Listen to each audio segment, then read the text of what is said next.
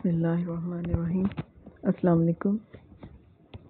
girls today we are going to start a new chapter the name of the chapter is perception this chapter is related to understanding of sensation तो इस chapter में बहुत सारी चीज़ें ऐसी हैं जो आपने नहीं पढ़नी। तो वो मैं फिर uh, लेक्चर में ही उसको मैं बता दूँगी आपको लेक्चर के दौरान ही। तो चंद टॉपिक्स जो हैं वो आपने इसमें से पढ़ने हैं और दो तीन टॉपिक्स इसमें से ऐसे हैं जो आपकी बुक में नहीं हैं। तो उसके बारे में फिर इन कॉलेज खुल जाएगा। तो उसके हवाले से फिर आपको कोई टॉपिक्स में असाइनमेंट्स या नोट्स बता दूँगी कि किस तरीके से आपने उसको पढ़ना है। तो बहरहाल जो टॉपिक्स बुक में हैं और आपने पढ़ने हैं, पहले उनसे हम स्टार्ट लेते हैं।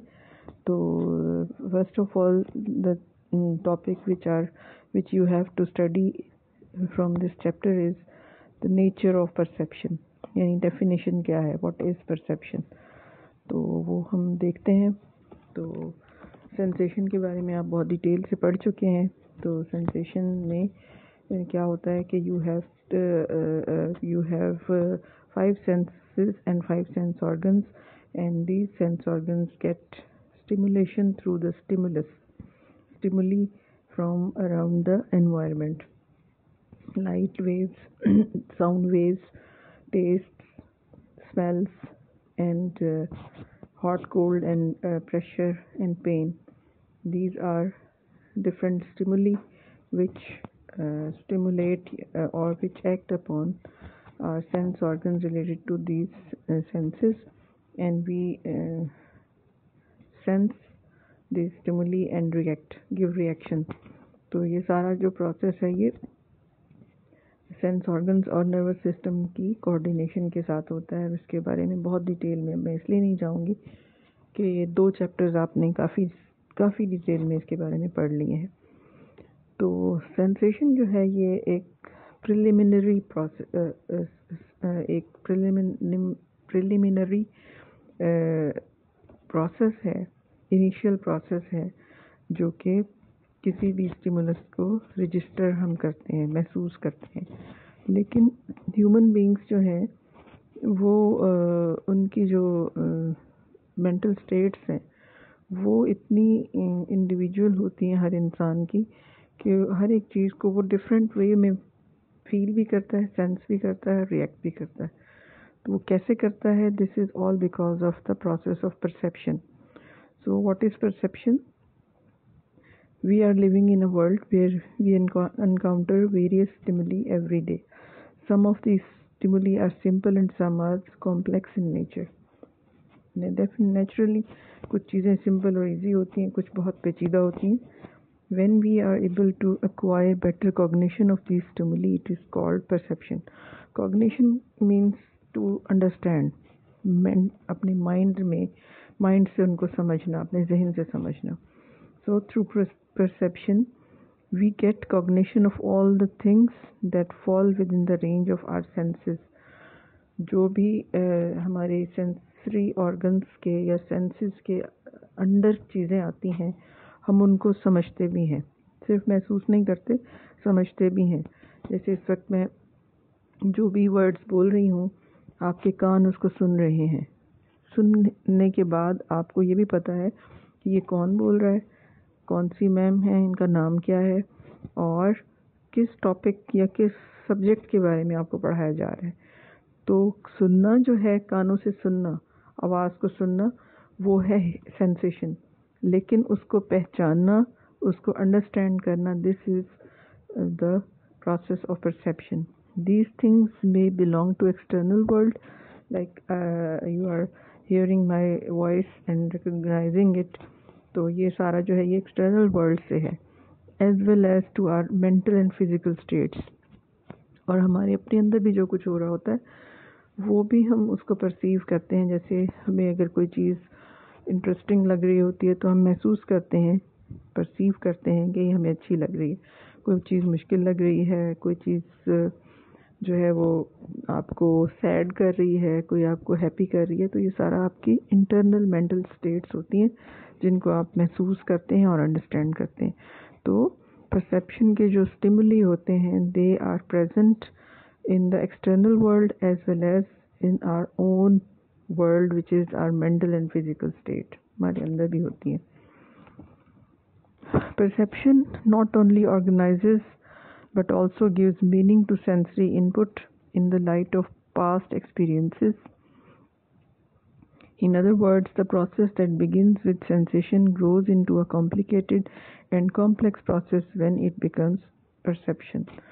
तो सेंसेशन से ये शुरू होता है सेंसेशन के बगैर परसेप्शन नहीं हो सकती जिस चीज़ को भी आप महसूस नहीं कर सकते उसको आप समझ भी नहीं सकते जैसे आप रूह को नहीं देख सकते आप जन्नात को नहीं देख सकते, आप रूहों को नहीं देख सकते तो इसलिए आप उनको उनको पर, जब सेंस नहीं कर सकते तो आप उनको परसीव भी नहीं कर सकते। तो परसेप्शन क्या है? ये जो एनवायरनमेंट में होते हैं स्टिमुली होते हैं, ये जिसको हम सेंसरी इनपुट भी कहते हैं। आवाज़ें जो हैं, वो कानों के लिए सेंसरी इनपुट हैं। इनपुट मीन्स अंदर की तरफ़ भेजी जाने वाली मालूमात।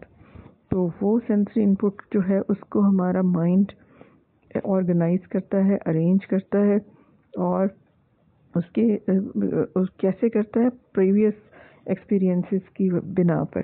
For example if you are instructed to write an essay about national personality कोई भी कौमी शख्सियत है, उसके बारे में आपने, आपको कहा जाए कि आप ऐसे लिखें। तो आप फ़ौर उसको ऑर्गेनाइज अपने माइंड में करेंगे कि उस पर्सनालिटी की डेट ऑफ़ बर्थ क्या है, उसने उसके पेरेंट्स का वालिद और वालदा का क्या नाम है, उसने कहाँ से तालीम हासिल की और फिर उसकी जो भी कंट्रीब्यूशन है उसको आप तरतीब से लिखेंगे। तो ये it is all because of your perception जो कि आपने बचपन से पढ़ते आए हैं। तो ये वो प्रोसेस है जो कि इनिशियल जो सेंसरी इनपुट या सेंसरी इंफॉर्मेशन है, जो कि एक बेसिक स्टेप है। उसको एक पेचीदा या एक कॉम्प्लिकेटेड प्रोसेस के थ्रू अंडरस्टैंड करता है जब ये परसेप्शन बन जाता है। अब हम आएँगे कि मुख्तलिफ़ साइकोलॉजिस्ट जो हैं वो किस तरह से डिफ़ाइन करते हैं परसेप्शन को। तो पिल्सबरी एक मशहूर साइकोलॉजिस्ट है। Pillsbury says perception is the combination of sensation and memory महसूस करना और उसे याद रखना। दिस इज़ कॉल्ड परसेप्शन ये उसने एक इक्वेशन की फॉर्म में दिया है। Perception equals to sensation plus memory यहाँ पर आप पेज के एंड में देखें। एक्चुअली पिल्सबरी ने जो इक्वेशन दी थी, वो यही थी perception equals to sensation plus meaning जब हम जो भी सेंसेशन होती है, देखने के बाद, सुनने के बाद, चखने के बाद सूंघने के बाद टच करने के बाद किसी भी चीज़ को हम कोई नाम दे देते हैं, पसंदीदा, नापसंदीदा अच्छा बुरा इंटरेस्टिंग बोरिंग तो ये नाम देना या मीनिंग देना जो है, ये हमारा परसेप्शन कहलाता है और दरअसल ये ठीक, दुरुस्त बात भी यही है। Perception equals to sensation plus meaning बहुत ध्यान से आपने इसको समझना और याद रखना है। बाद में फिर पिल्सबेरी ने इसमें एक एडिशन की कि ये मेमोरी भी इसके साथ आ जाती है। यानी तीन चीज़ें हो सकती हैं sensation plus meaning plus memory is called perception तो ये अक्सर जो है वो कोट की जाती है बात इसको आपने जहन में रखना है। पिल्सबेरी ने जो डेफिनेशन दी है that is in the form of an equation एक मसावत की शक्ल में है। Next one is Morgan He says perception means recognition, differentiation, observation, and comprehension of the meaning of things. Recognition means पहचानना. डिफ्रेंशिएशन मीन्स डिफ्रेंशिएट अलग उसको चीज़ों को एक दूसरे से उनके डिफरेंस की बुनियाद पर अलग करना. ऑब्जर्वेशन डेफिनेटली ध्यान से देखना मुशाहिदा करना. And comprehension comprehension is means to understand a thing अच्छी तरह से उसको समझ लेना। The meaning of a thing is called perception then F L Ruch he says perception means to be aware of things events and qualities that stimulate sensory organ and find relation between than तो sensory organs पहले बता चुकी हूँ, पाँच sensory organ हैं। उनको stimulate करने वाली जो इवेंट्स ऑब्जेक्ट्स और थिंग्स जो हैं, उनके दरमियान ताल्लुक़ कायम करना सीखना। This is called the process of perception जब कॉम्प्रिहेंसिव डेफिनेशन जो है वो इसकी, वो है perception is the mental cognition of a thing cognition का मतलब होता है किसी भी चीज़ को ध्यान से देखना और अंडरस्टैंड करना रजिस्टर करना और समझना। Perception is the mental cognition of a thing event और फिनोमिनन किसी भी चीज़ का किसी भी वाक़े का किसी भी फिनोमिनन भी एक किसी आ, अमल को कहते हैं। कोई भी चीज़ जो हो रही हो happenings it takes place through a combination of sensation interpretation of stimuli memory and subjective states तो ये कोई एक सिंपल प्रोसेस नहीं है ये एक कॉम्प्लेक्स प्रोसेस है जिसमें सेंसेशन आती है सेंसेशन से शुरू होता है interpretation of stimuli interpretation means उसको ताबीर करना, उसकी, उसके बारे में वजाहत करना. Memory and subjective states memory यानी हमारी यादाश्त. सब्जेक्टिव स्टेट्स यानी हमारी पर्सनल जो लाइकिंग और डिसलाइकिंग होती है, उसकी बेसिस के ऊपर जो प्रोसेस होता है दैट इज़ कॉल्ड परसेप्शन और आखिर में perception equals to sensation plus meaning इसको भी आपने अच्छी तरह से याद रखना है और समझ, समझना है कि ये पिल्स पर ने बताया था। उसके बाद जी नेक्स्ट जो है वो है मज़ीद इसकी एक्सप्लेनेशन सीइंग हियरिंग टेस्टिंग और feeling a mental and physical state are all examples of sensation किसी भी चीज़ को महसूस करना जो है ये ये प्योर प्रोसेस है। इनिशियल प्रोसेस है। When different sensations reach the brain अब हम ऐसा तो नहीं होता ना कि हम एक चीज़ जो है एक सेंसेशन एट अ टाइम हमारा नहीं काम कर रही होती। लाइक like, इस वक्त अगर आप मेरा लेक्चर सुन रहे हैं तो आपकी बुक खुली हुई होगी आप उसको पढ़ भी रहे हैं यानी देख भी रहे हैं। दो सेंसेस तो आपकी काम कर ही रही हैं। तो ये सारी इन्फॉर्मेशन जब ब्रेन को जाती है तो ब्रेन क्या करता है? It organize them meaningfully and interprets them आप अपने माइंड में उसको तरतीब से रखते हैं कि अगर मुझे ये क्वेश्चन आया तो मैंने पहले क्या लिखना है, फिर क्या लिखना है, फिर क्या लिखना है। This is how the process of perception is completed तो परसेप्शन का जो प्रोसेस है वो ऑर्गेनाइजेशन रीऑर्गेनाइजेशन और मेमोरी और मीनिंगफुल बनाना जो है वो इसमें इन्वॉल्व होता है। इसके आगे जो आएगा स्टेजेस ऑफ़ परसेप्शन ये नहीं आपने करनी सिंपली सिम डेफिनेशंस आपने इसकी पढ़ लेनी है। एक और डेफिनेशन जो मैंने ली है यहाँ से आ, इसकी स्लाइड है वो भी आप पढ़ लें। Perception is the brain's process of organizing and interpreting sensory information to give it meaning मैंने पहले भी बताया है इंटरप्रेट का मतलब होता है किसी भी चीज़ को कि ताबीर देना, जैसे ड्रीम इंटरप्रिटेशन होती है। ख्वाब देखें तो उसके, उसको सुनकर उसका मफहूम बताना। तो इंटरप्रिटेशन जो है, यही होती है कि deep understanding and deep explanation of sensory information to give it meaning तो जो मीनिंग हम देते हैं तो वो परसेप्शन होती है। Individual organizes perception according to certain principle of pattern of perception तो इसकी मुख्तलिफ़ तरीके होते हैं तो उसके लिए फिर आप आगे देखते हैं कि वो क्या होते हैं। उनमें से एक जो आपने पढ़ना है, वो है gestalt laws of perceptual organization बाकी कोई भी चीज़ आपने नहीं पढ़नी फैक्टर्स ऑफ़ परसेप्शन आपकी बुक में लिखे हुए, यहाँ पर, लेकिन वो आपने नहीं पढ़ने। फैक्टर्स जो हैं फैक्टर्स का मतलब क्या होता है? द एलिमेंट्स और causes that facilitate perception are termed factors of perception यानी ऐसी तमाम चीज़ें जो कि हमारी परसेप्शन के अमल को इजी करती हैं, बेहतर बनाती हैं तो वो फैक्टर्स ऑफ़ परसेप्शन होते हैं और ये थ्री फैक्टर्स हैं objective factors subjective factors and social factors तो इसकी डिटेल में हम नहीं जाएँगे। तो जो ऑब्जेक्टिव फैक्टर्स हैं, उनमें से एक जो है, वो है gestalt laws of perceptual organization gestalt जो है, ये एक्चुअली एक स्कूल ऑफ़ थॉट है।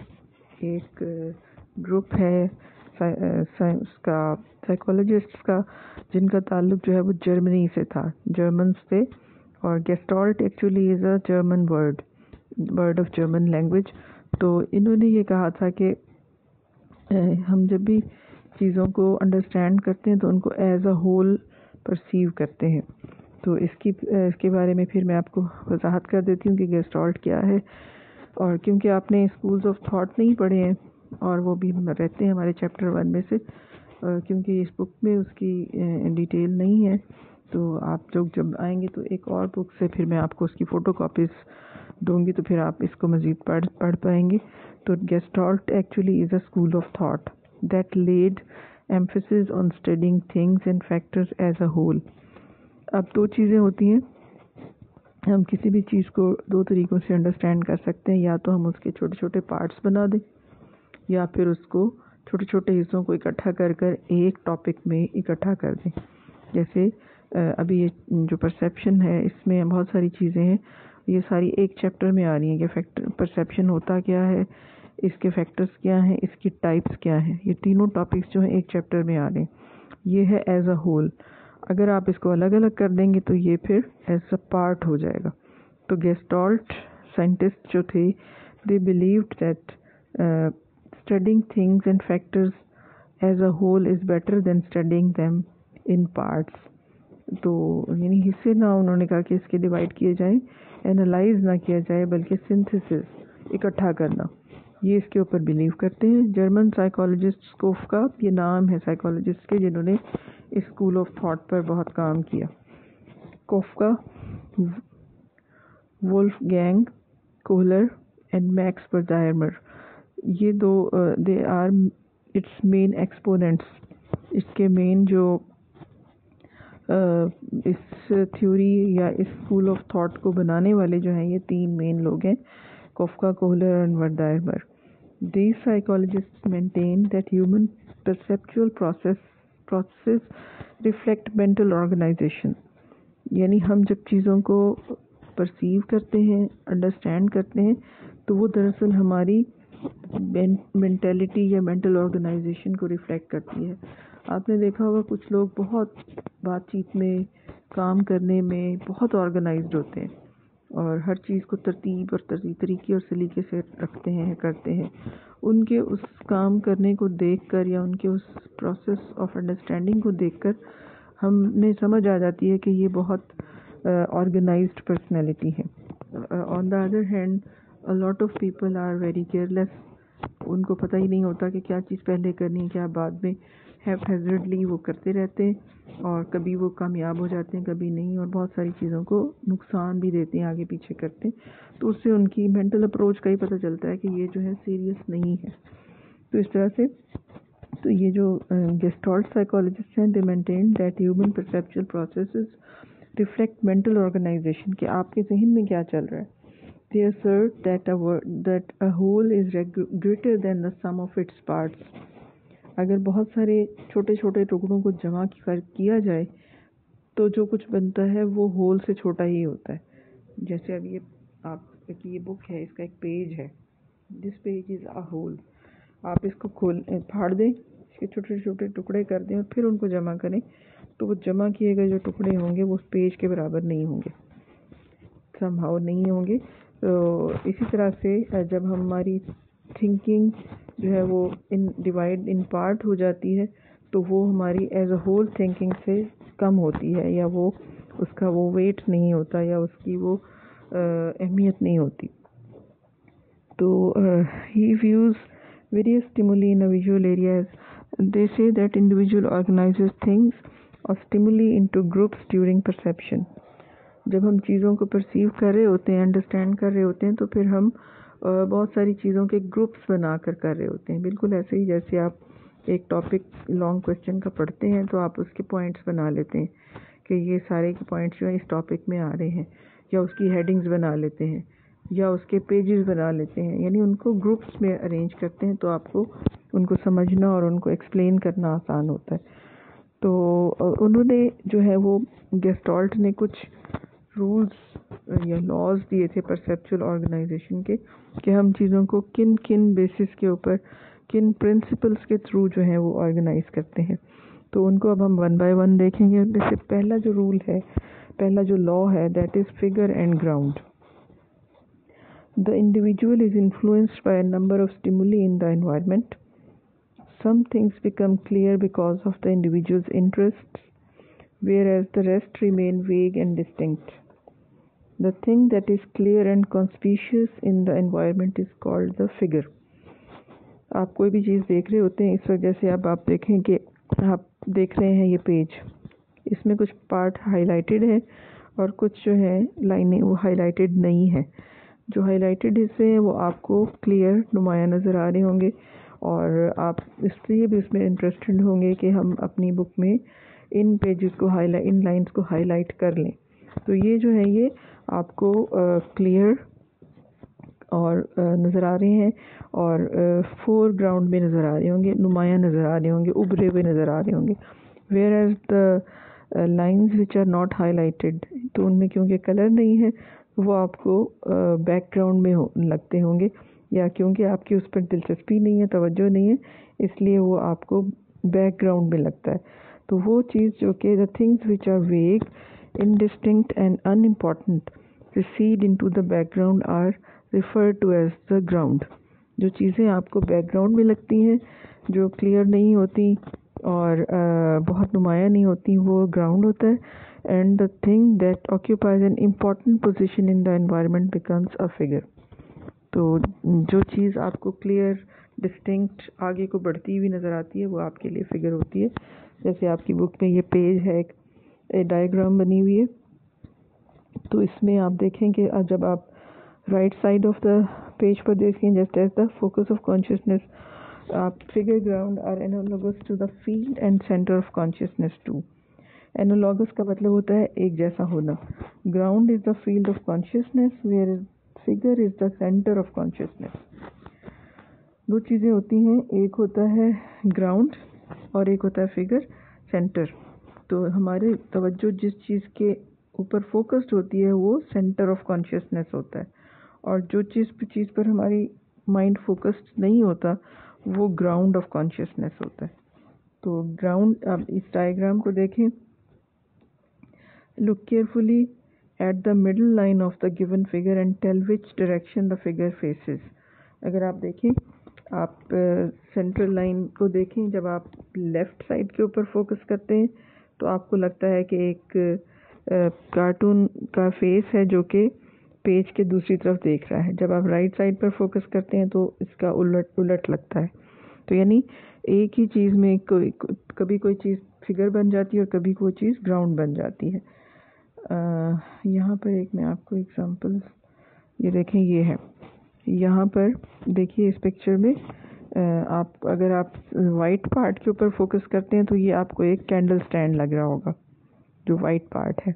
लेकिन जब आप ब्लैक के ऊपर फोकस करते हैं यानी आप जब इस पिक्चर को देखें वाइट को देखें तो वाइट जो कैंडल स्टैंड है this is the figure and black region is ground लेकिन जब आप ब्लैक के ऊपर फोकस करते हैं तो आप देखें कि दो प्रोफाइल्स दो फेसेस जो हैं आपको नज़र आ रहे हैं जो आपस में बातें कर रहे हैं। Uh, you focus on the black region the black region becomes figure and white becomes the background और ग्राउंड तो इस तरह से एक ही पिक्चर में इनको कहते हैं रिवर्सिबल फिगर्स जिनमें कभी एक चीज़ उभर कर सामने आती है, कभी दूसरी आती है। अब कभी आप वाइट पर देखें तो वाइट आपके सेंटर ऑफ़ कॉन्शियसनेस होगा, यानी वो फिगर बन जाएगा। जब आप ब्लैक पर देखते हैं तो black becomes your centre of consciousness and white becomes the ground तो इस तरह से फिगर ग्राउंड रिलेशनशिप जो है, उसकी बेसिस के ऊपर हम चीज़ों को अंडरस्टैंड करते हैं या उसको हम ऑर्गेनाइज करते हैं। तो फिगर और ग्राउंड के बारे में आपको शॉर्ट क्वेश्चन आ सकता है व्हाट इज़ अ फिगर और and what is a ground तो फिगर क्या है?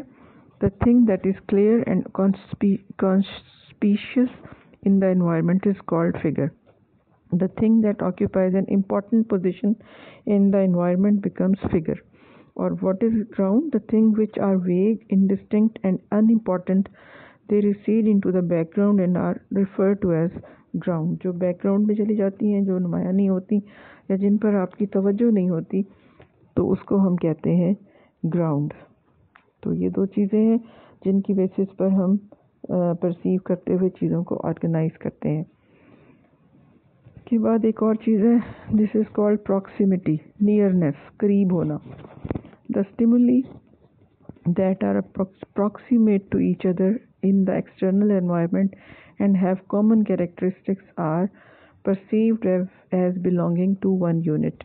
ये अब आपकी बुक में एक डायग्राम है जिसमें आपको लाइंस uh, नज़र आ रही हैं। ऊपर वाले हिस्से में देखें तो आपको सिक्स लाइंस सेवन लाइंस हैं। लेकिन वो आपको सेवन लाइंस की बजाय दो दो लाइंस जो कि एक दूसरे के करीब हैं उनका एक ग्रुप बनाएँगे। यहाँ पे आपको थ्री ग्रुप्स जो हैं, वो टू लाइंस की और एक सिंगल लाइन नज़र आ रही है। तो यानी आप उनकी नियरनेस जो लाइंस एक दूसरे के करीब हैं, उनकी बेसिस के ऊपर आप उनको ग्रुप की सूरत में ऑर्गेनाइज करते हैं। इसी तरह से नीचे देखें तो आपको ब्रैकेट्स नज़र आ रही हैं। उनमें से तीन ब्रैकेट्स के आपको सेट पूरी ब्रैकेट्स के लगते हैं और पहला जो है वो हाफ़ हाफ़ ब्रैकेट है। तो ये भी उनकी नियरनेस की वजह से है। इस प्रिंसिपल को कहा जाता है प्रिंसिपल ऑफ़ प्रॉक्सिमिटी यानी करीब होना nearness another principle is law of similarity when stimuli in the external environment are group together on the basis of similarity it is called law of similarity जो मिलते जुलते हों, जिनमें मुशाबहत पाई जाती हो स्टिमुली में वो हम उनको हम एक ग्रुप बना लेते हैं। जैसे ये जो आपकी बुक में एक फिगर नज़र आ रही है, जिसमें स्क्वायर्स भी हैं और सर्कल्स भी हैं।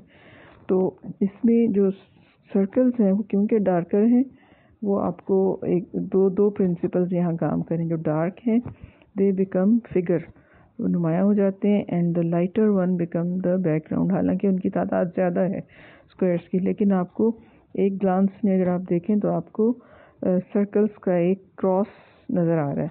तो this is because of the similarity of stimuli जो एक जैसे स्टिमुली हैं और डार्कर हैं, वो एक एक ग्रुप बना लेते हैं और आप इसमें इसको परसीव करेंगे कि इसमें स्क्वायर और सर्कल्स का एक ग्रुप है और स्क्वायर सर्कल्स जो है, वो एक निशान बना रहे हैं क्रॉस का।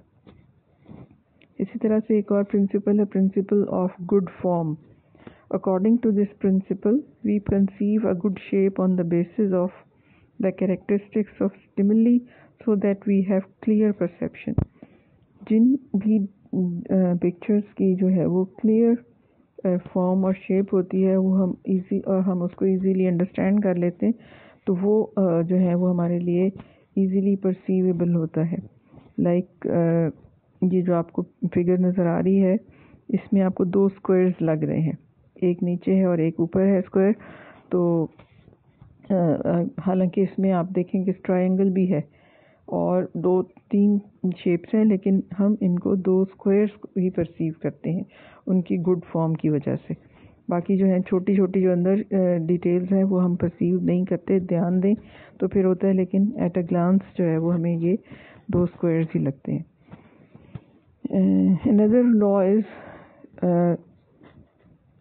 लॉ और principle of good continuation continuation का मतलब होता है चीज़ों में तसलसल का होना यानी बहाव की कैफियत होना the law whereby the individual organises figures with similar nature and direction into ground and figure is called law of good continuation. Generally, we perceive continuous things as a form or shape. In the given figure, we perceive the line AB separately from the line AD. Uh, sorry, and C D अब देखें कि इसमें आपको नीचे आपको एक A B line नज़र आ रही है और सी डी लाइन नज़र आ रही है जिनमें एक कंटिन्यूटी है। लेकिन दोनों की कंटिन्यूटी क्योंकि डिफरेंट है एक में आर्चेस बन रही हैं और एक में स्क्वायर्स बन रहे हैं रेक्टेंगुलर मूवमेंट है। ए ए ए डी जो है ए बी जो है उसमें रेक्टेंगुलर मूवमेंट है और सी डी जो है ए बी और सी डी में जो है वो वेव्स हैं आर्चेस हैं। तो इन दोनों को आप हालाँकि इकट्ठा भी हम परसीव कर सकते हैं, लेकिन क्योंकि उनका रिदम एक दूसरे से मुख्तलिफ़ है, लिहाजा हमें ए बी और सी डी दो अलग अलग रिदमिक लाइंस कंटिन्यूस लाइंस महसूस होती हैं। और इसी तरह से पहले वाली फिगर में भी ए बी और सी डी जो क्रॉस का निशान बना रही हैं डॉट्स हैं ये भी दो अलग अलग वेव्स और दो अलग अलग जो हैं हमें कंटिन्यूएशंस महसूस होती हैं। तो कंटिन्यूएशन जो है वो आ, आ, उसकी बेसिस पर भी हम चीज़ों को ऑर्गेनाइज करते हैं। एक और प्रिंसिपल है जी क्लोजर क्लोजर का वैसे तो मतलब होता है किसी भी चीज़ का बंद होना या क्लोज हो जाना। तो according to this law a bit incomplete objects और figures are perceived as complete कुछ फिगर्स अगर नामुकम्मल हों, कोई हिसाब नज़र ना आ रहा हो तो हम उसको कंप्लीट ही परसीव करते हैं. The individual himself fills in the gaps that at the side of an incomplete square और circle we perceive the given figures as a circle and an animal जैसे आप देखेंगे आपकी बुक में ये ब्लैक धब्बे से जो नज़र आ रहे हैं, ये एक एनिमल का तासर दे रहा है, डॉग लग रहा है। हालाँकि ना तो उसके कान प्रॉपर हैं, ना आइज़ ना फेस कुछ भी प्रॉपर नहीं है, लेकिन क्योंकि हमने अक्सर पिक्चर्स देखी हुई हैं डॉग्स की इस तरह की तो हम अपने प्रीवियस एक्सपीरियंसेस की बेसिस के ऊपर हम उसके गैप्स को फिल करके उसको जो है वो फील करते हैं डॉग फील करते हैं। इसी तरह से ये एक ओवल फिगर है एंड पे जो इनकम्प्लीट नज़र आ रही है डॉट्स हैं। तो ये भी हमें इनकम्प्लीट नहीं लगता, बल्कि इसके गैप्स को फिल करके हम ओवल शेप परसीव करते हैं। तो इससे ये, इसका मतलब ये है कि we perceive the given figures as a circle and animal though these are not complete figures complete नहीं है, फिर भी हमें ये कंप्लीट लगती है। उसके बाद एक और, इसकी आगे भी आपको मैं, ये देखें, ये प्रॉक्सिमिटी जो पहला रूल था when the individual sees objects close to each other they tend to group them together एक साथ इकट्ठे हो जो ऑब्जेक्ट्स होते हैं उनका एक ग्रुप बना लिया जाता है ये एक और प्रॉक्सिमिटी की एग्जांपल है these are the objects near each other or closer together that tend to be grouped together अब ये देखें कि इसमें ट्वेल्व फेसेस इमोजीज जो हैं वो राइट साइड पर हैं ट्वेल्व ही लेफ़्ट पर हैं लेकिन उनकी और अरेंजमेंट डिफरेंट है और उनका एक दूसरे से फासला है तो आपको इमोजीज के दो सेट्स नज़र आ रहे हैं बारह बारह के। आप उनको twenty four as a whole नहीं ले रहे। उनको उनकी कॉमन शेप और कॉमन लोकेशन की वजह से क्लोज होने की वजह से आप उनको एक साथ परसीव करते हैं। इसी तरह से similarity the more similar objects are the more likely we are to group them together इस पिक्चर में भी डार्कर ऑब्जेक्ट्स हैं और लाइटर ऑब्जेक्ट्स हैं। आपको तीन लाइनें डार्क ऑब्जेक्ट्स की और तीन जो हैं वो लाइटर ऑब्जेक्ट्स की लग रही हैं। ये भी एक सिमिलैरिटी की एग्जांपल है। Elements that look similar we perceive as part of the same form अब इसमें देखेंगे इमोजीज भी हैं और ट्राइंगल्स भी हैं। तो आपको ट्राइंगल्स और इमोजीज अलग अलग ग्रुप्स की सूरत में नज़र आ रही हैं। क्योंकि वो जो सिमिलर हैं, वो दूर होने की वजह से, के बावजूद भी एक ही आपको लग रहे हैं। इमोजीज जो ऊपर हैं और जो नीचे ट्राइंगल्स के हैं, उन सब का आप एक ग्रुप परसीव करते हैं और इस तरह से जो ट्राइंगल्स हैं, उनका एक ग्रुप परसीव करते हैं। Law of closure objects group together are seen as a whole अब यहाँ पर आप देखेंगे स्टार आपको महसूस हो रहा है। हालाँकि स्टार पूरा नहीं बना हुआ, उसके अंदर गैप्स हैं लाइंस क्रॉस कंप्लीट नहीं है। लेकिन हम उन गैप्स को जो है वो फिल कर लेते हैं। उसके बाद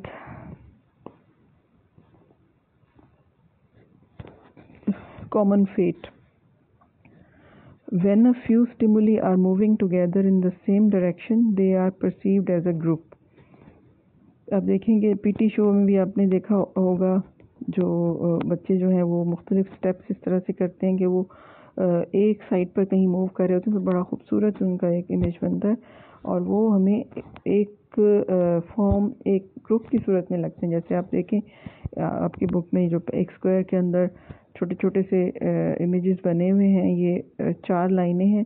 उनमें से जो पहली लाइन है वो पेज के लेफ़्ट साइड के ऊपर ऐसा लगता है कि बैंड हुए हुई है। दूसरे में जो इमेज है वो आपको राइट साइड पर बैंड हुआ लगता है। तीसरे में फिर लेफ़्ट पर और चौथे में फिर राइट पर। तो इस तरह से ये जो है ये कॉमन फेट यानी जिस तरीके से वो मूव कर रहे होते हैं डांसिंग के स्टेप्स पीटी के स्टेप्स ये सारे जो हैं ये इन्हीं डिफरेंट मोशंस और मूवमेंट्स मूवमेंट्स की बेसिस के ऊपर हमें खूबसूरत, हम उनको खूबसूरती से परसीव करते हैं। तो इसी तरह से frame of reference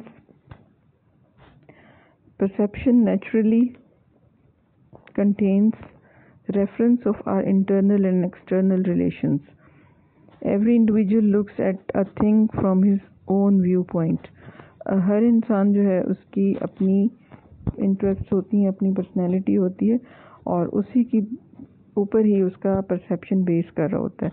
यहाँ पर एक दिलचस्प सी एग्जांपल दी हुई है। The student who often comes first feel sad at getting the second position यानी टॉपर जो होता है, जब उसकी सेकंड पोजीशन आ जाती है तो वो सैड फील करता है बहुत ज़्यादा। हालाँकि पास हो चुका होता है। While the student who obtains a pass with grace marks feel satisfied that he has not had a failure जो बच्चा जो है निकम्मा होता है और वो ग्रेस मार्क्स से पास हो जाता है तो उसी पे ही खुश हो जाता है। तो यानी वो डिपेंड करता है कि आपके अंदर क्या है, आपकी पर्सनैलिटी क्या है, आपकी एक्सपेक्टेशन आपकी नीड क्या है, उसी के मुताबिक आपका परसेप्शन होता है। और बाज़ात इसी की वजह से ही हम अनहैप्पी फील करते हैं एक्सपेक्टेशन हाई रख लेते हैं या अपने आप से वो एक्सपेक्ट करने लग जाते हैं जितनी, जिसकी हमारे अंदर सलाहियत नहीं होती। तो ये जो है ये फ्रेम ऑफ़ रेफरेंस कहलाता है। तो ये ही चंद एक जो नाइन टेन रूल्स हैं नाइन बल्कि कॉन्टेक्स्ट मैंने नहीं आपको पढ़ाया। तो ये जो है ये आपने याद रखने, ये रूल्स जो हैं ये gestalt principles of perceptual organization है। और इनमें से किसी एक के बारे में भी या ऑल ओवरऑल आपको लॉन्ग क्वेश्चन भी इसका आ सकता है तो ये आपको अच्छी तरह से पता होना चाहिए। और लॉज मैंने आपको सारे बता दिए हैं। एक लॉ जो है वो है law of good pregnance the word pregnance is a German term meaning good figure ये भी आपको बताया था मैंने गुड कंटिन्यू गुड फॉर्म वाला। ये उसी की ही एग्जांपल है। The law of pregnance is sometimes referred to as law of good figure और law of simplicity this hold that objects in the environment are seen in a way that makes them appear as simple as possible यानी जो हमें simple नज़र आते हैं और जिन, जो हमें क्लियर नज़र आते हैं, वो हम उनको वही समझते हैं। जैसे इस पिक्चर में देखें, आपको बज़ाहिर एक ट्रायंगल और एक जो है वो स्क्वायर लग रहा है।